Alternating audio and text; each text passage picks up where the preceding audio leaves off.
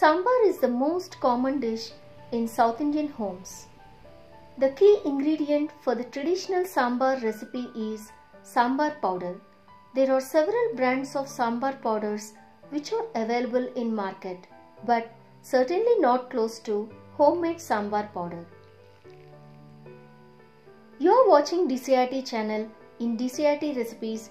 Today we brought to your kitchen sambar powder and sambar. Let's watch first how to prepare sambar powder at home. Take a thick bottomed pan and heat it. Keep the stove in medium flame. Now add 200 grams coriander seeds. Dry roast till they turn aromatic. Keep aside.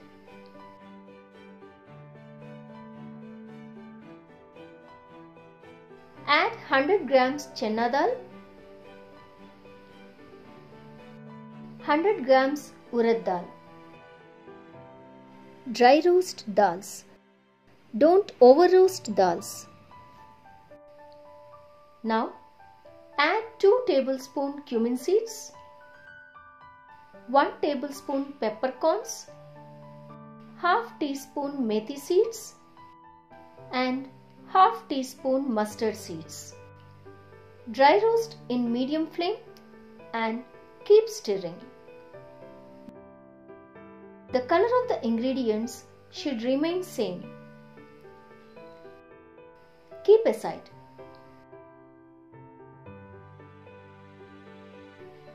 Add half teaspoon oil and add 150 grams Byadgi chilies. Now add 50 grams Guntur chilies. You can adjust the amount of chilies depending upon your spice level. Byadgi chilies give good color and Guntur chilies give a perfect spiciness to the sambar powder. Dry roast and keep aside.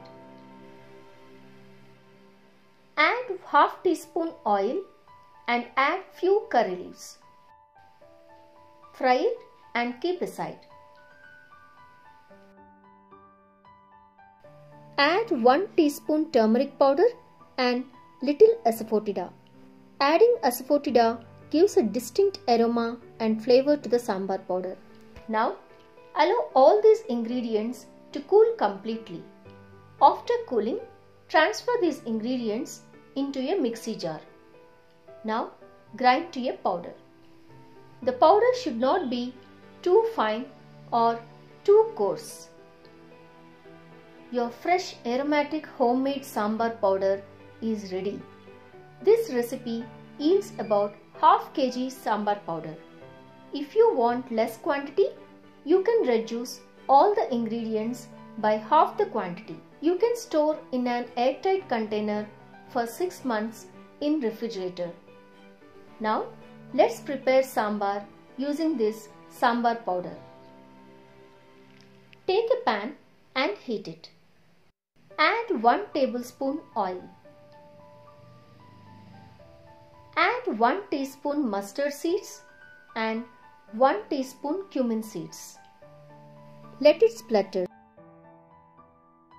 Add 2 red chilies and few curry leaves. This tempering adds a punch of flavor to the sambar. After curry leaves flutters, add 1 cup of boiled vegetables. Fry it for few minutes. You can add boiled vegetables like drumstick, brinjal, etc. as per your choice. We took carrot, peas, potato and beans. Add 1 cup of boiled and mashed tur dal. We cooked tur dal with little oil and turmeric powder in cooker with 4 whistles. Mashed tur dal improves the texture of the sambar. Add 1 glass of water to adjust the consistency. Give it a good mix.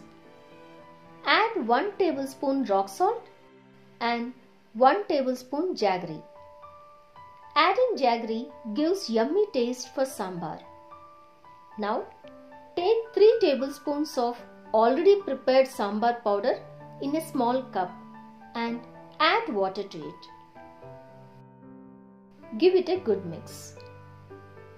Then add this mixture to the pan. If we add sambar powder directly, lumps may form in the sambar.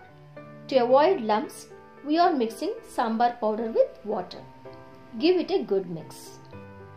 Now, add tamarind water according to your taste.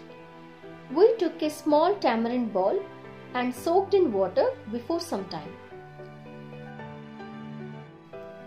Adjust the consistency by adding water. Add fresh washed coriander leaves finally. It adds more flavor to the sambar. Wow, your delicious colorful sambar is ready to serve with rice.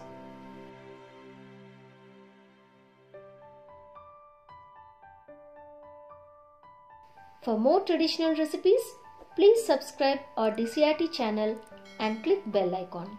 Thank you.